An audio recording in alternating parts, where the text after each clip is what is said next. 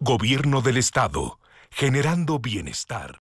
El gobernador Gabino Cue afirmó que el Estado mexicano debe orientar toda su voluntad y energía para promover el desarrollo regional del sur-sureste de México y con ello revertir los rezagos sociales y productivos que han condenado a miles de familias a vivir en situación de vulnerabilidad. Al asumir en el Estado de Tabasco la vicecoordinación de la Comisión para el Desarrollo Integral de la región sur-sureste de la CONAGO, que preside el gobernador de Tabasco, Arturo Núñez, el mandatario oaxaqueño afirmó que esta plataforma impulsará el desarrollo con equidad, sustentabilidad y eficiencia el potencial productivo de esta región solo será capitalizable y generador de riqueza social cuando contemos con las vías de comunicación que integren social y productivamente a todas las entidades que la conforman. Nuestros aparatos productivos alcanzarán mayor dinamismo, mayor modernidad y competitividad cuando seamos capaces de consolidar polos de desarrollo a través de proyectos estratégicos. Gabino Cue dejó en claro que es necesario reactivar la dinámica económica de la región, estimular la generación de empleos y proporcionar a las comunidades los servicios que mejoren y dignifiquen la calidad de vida de la gente.